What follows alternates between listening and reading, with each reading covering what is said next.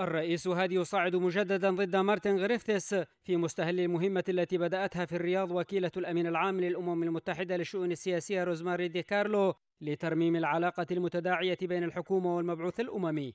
ففي خلال اللقاء الذي أجراه مع المسؤولة الدولية مساء الاثنين اتهم الرئيس هادي مارتن غريفتس بالتماهي مع ما وصفها بمسرحيات الحوثيين في الالتفاف على اتفاق السويد بشأن الحديدة ما تسبب في خلق ضغط ورفض شعبي ووطني من كافة المكونات والمؤسسات الحكومية وقبل ذلك من الفريق الحكومي المشارك في تنفيذ ذلك الاتفاق على الأرض. وفيما يشبه الاسترضاء الأممي للسلطة الشرعية أكدت وكيلة أمين عام الأمم المتحدة للشؤون السياسية دعم المجتمع الدولي لليمن وقيادته الشرعية وعبرت عن تطلعها للسلام ولجهود الرئيس الحثيثة في هذا الصدد. وقدرت المسؤولة الدولية المخاطر التي تحملها الرئيس في سبيل إنجاح اتفاق الحديدة.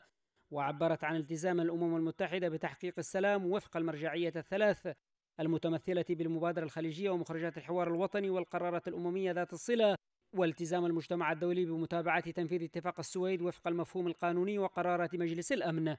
وشددت في الآن نفسه على أن وجود فريق الأمم المتحدة في اليمن سيكون لتقديم المساعدة الممكنة وليس لأي تواجد دائم أو هدف آخر كما شددت على أهمية الرقابة والتحقق الثلاثية في أي عملية انتشار وعلى احترام مسارة السلطة القانونية وإزالة العوائق أمامها وفقا لاتفاق ستوكهولم قاربت المسؤولة الدولية بتأكيدات كهذه المطالب المهمة للسلطة الشرعية في إطار تنفيذ تفاهمات ستوكهولم خصوصا ما يتعلق منها بالتهدئة وإعادة الانتشار في الحديدة وموانئها الثلاث. لكن من السابق لأوانه ما إذا كان غريثيس سيتقيد بهذه المرجعيات ضمن الفرصة الأخيرة التي منحها الرئيس للمبعوث الأممي في الرسالة التي وجهها لأمين عام الأمم المتحدة قبل أكثر من أسبوعين.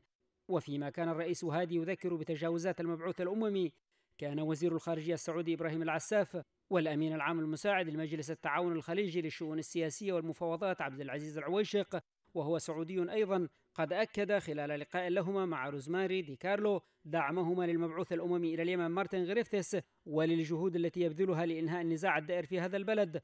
وفقا لتصريحات أدلت بها من نيويورك المتحدثة باسم الأمم المتحدة إيريكا نيكو. Okay.